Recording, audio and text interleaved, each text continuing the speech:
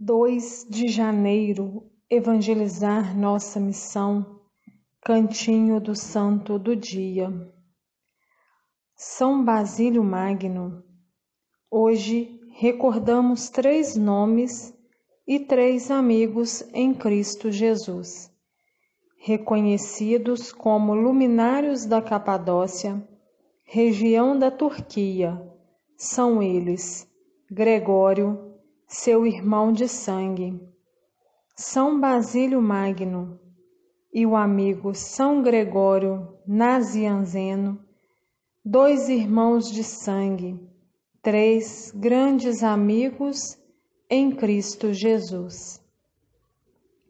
São Basílio Magno nasceu de uma família santa que buscava testemunhar na própria vida e na formação dos filhos, o grande amor por Cristo e pela Igreja. Foi assim que, ajudado pelo Pai, São Basílio Magno recebeu a primeira formação. Depois, passou por Constantinopla, chegando a estudar em Atenas e formar-se em retórica a essa altura, mesmo tendo um coração bem semeado pelo Evangelho, ele começou a buscar glórias humanas. É importante percebermos isso na história dos santos. Eles não nasceram santos e não foram obrigados a ser santos. Aceitaram este desafio, mesmo que houvesse em algum período, um desvio, mas a misericórdia do Senhor sempre nos dará uma nova chance. Foi o que aconteceu com São Basílico.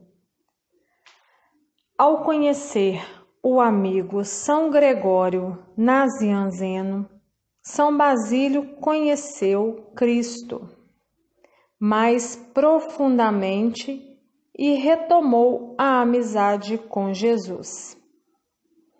Ele, que já era muito culto, direcionou todo o seu potencial para aquele que é a verdade.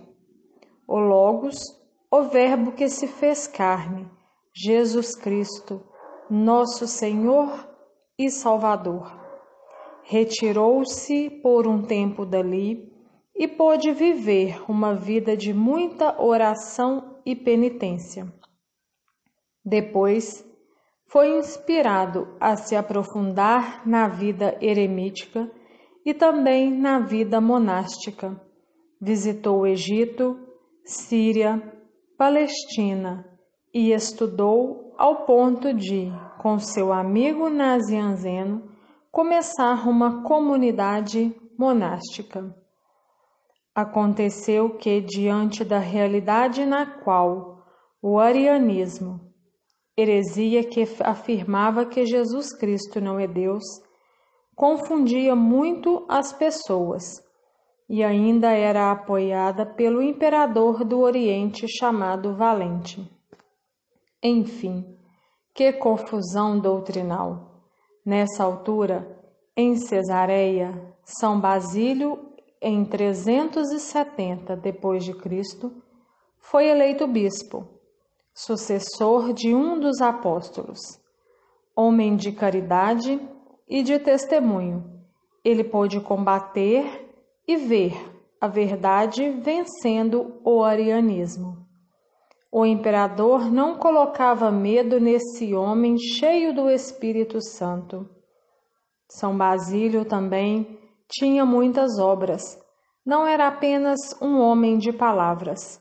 Cidades de caridade surgiram por meio dele.